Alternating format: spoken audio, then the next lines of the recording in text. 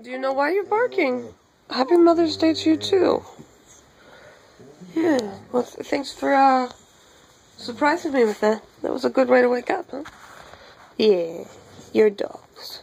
You're lucky. You're cute.